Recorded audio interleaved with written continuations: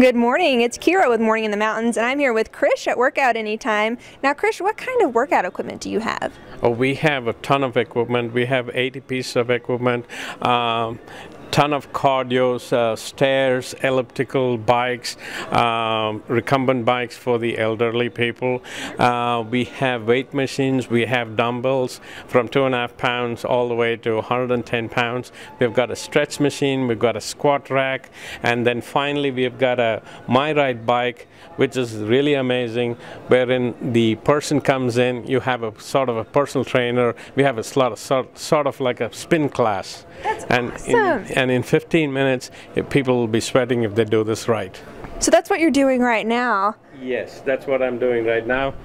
Um, and in 15 minutes, I'll be sweating.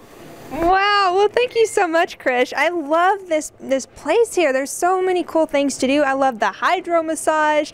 The tanning beds are nice. There's so many cool things, and you can even buy supplements here too, and uh, tanning lotion. Yes, we, we do sell supplements. Uh, we have partnered with Vitamin World just across the street uh, on Teaster Street. We sell Redcon products, and we sell pre-workout, po- post-workout, as well as protein.